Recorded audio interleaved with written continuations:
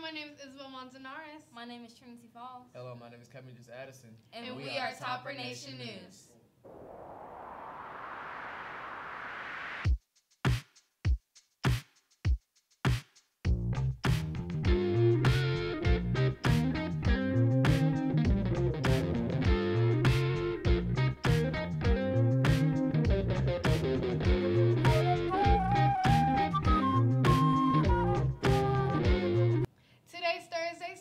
28, 2017, and the ACT word of the day is paraphrase. To say something in your own words. Today's weather is sunny with a high of 81 and a low of 51. Thank you for the weather, Trinity. And also tonight's senior night in all ranges. The soccer girl, the girls soccer team plays against Harpeth High School tonight, and it is their senior night. Also, the volleyball team plays, but we're not sure which team um, they play against tonight. But please be sure to come tonight to support them. And also, financial aid night is tonight for all seniors. So please be here at 6:30 p.m. to get your help with your financial aid for college. Also, ACT retakes are next week, October 3rd. So if you're going to be taking that test, please be prepared because it is very important. Also, to all seniors, tomorrow's the last day of college application week. So if you need help filling out any applications, please see your guidance counselor.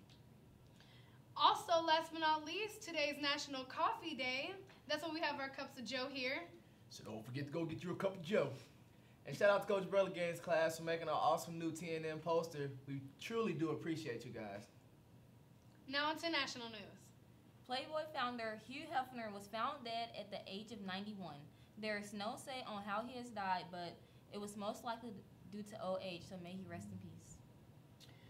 Also, one of the victim, one of the victims of the church shooting from last weekend, Melanie Smith, was actually a graduate of the class of '96 at Hillwood.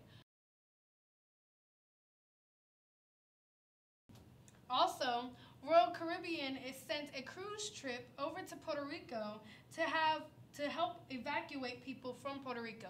They also delivered supplies. So thank you to Royal Caribbean for sending those cruise ships to Puerto Rico. That was very nice. Now on to sports news with Cymitrius. Alrighty, and in sports news, we got a great matchup for you this week. This coming Saturday, we got your Georgia versus Tennessee.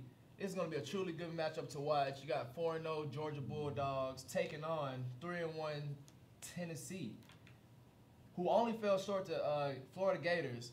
Tennessee looking forward to bouncing back on a great home game defending their turf against Georgia Bulldogs. It's to be an awesome game to watch at 2.30 this Saturday. Be sure you're there to watch it. And now over to you, Nick. Thank you, Cymitrius. Earlier this morning in South Nashville, there was a house fire that was put out by the fire department. The fire consumed most of the garage. However, the cause for the fire is still under investigation. Moving on, in more Puerto Rican related news, President Trump has waived all cargo restrictions to the island in order to get aid there much faster.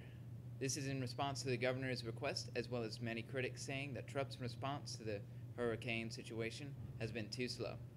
Back to you guys. Thank you, Nick. Now, on to some good news. The Cuban rapper Pitbull is sending a private plane to bring cancer patients back from Puerto Rico to U.S. for chemotherapy. That is so sweet. But that's all today for Topper Nation News 3A edition. We'll see you next time.